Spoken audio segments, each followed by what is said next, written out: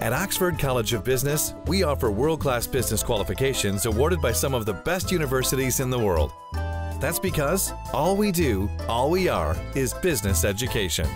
මහජනතාව මේ පිළිබඳ ඉවසිල්ලෙන් බලන් ඉන්නේ මොකද්ද වෙන්නේ කියලා. මොනිටරින් බෝඩ් එක සිකුරාදා විශේෂයෙන් හදිසිය රැස් කළා තියෙනවා. ඒතර මොනිටරින් බෝඩ් එක ගන්න තීන්දුව අරගෙන ඒ උඩ අපි බලමු මොකද්ද වෙන්නේ. ඊට පස්සේ මේක දිහා අපි කණ්ඩායමක් හැටියට බලන් ඉන්නවා. මේකේ ජනාධිපතිතුමායිනි තමත පැහැදිලි තැනක.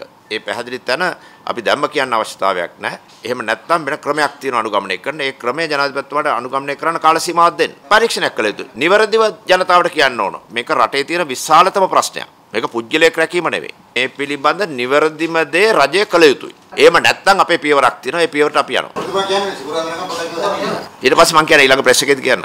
එමෙතුමා ඒ මතේ ඉන්නවා.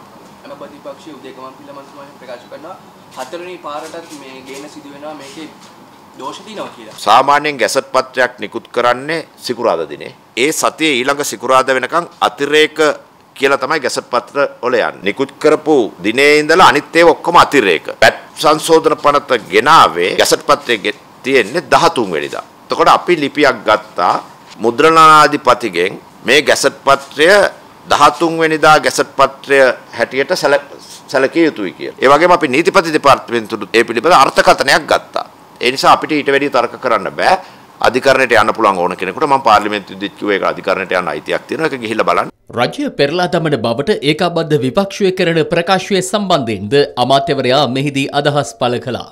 එතකොට ශ්‍රී ලංකා නිදහස් පක්ෂයේ කණ්ඩායමක් හිතනවා නම් ආණ්ඩුවක් වෙනස් කරන්න පුළුවන් කියලා. ඒ ආණ්ඩුවක් වෙනස් කරන්න පුළුවන් වෙන්නේ ශ්‍රී ලංකා නිදහස් පක්ෂය ශක්තිමත් කරලා මේ සම්මුතිවාදී ආණ්ඩුවෙන් කවදා හෝ ඉවත් වෙන වෙලාවක ශ්‍රී ලංකා නිදහස් පක්ෂය මැතිවරණයකට ගිහිල්ලා මහජනතාවගේ බලය දුන්නොත් විතරයි. සමහර අය කොච්චර පහත් තැනකට වැටලා තියෙනවද කිව්වොත් හෙට අනිද්ද කියයි මරණාධාර සමිතියක ඡන්දයකදී මේ මරණාධාර සමිතිය අපේ කණ්ඩායම දිනුවා කියලා.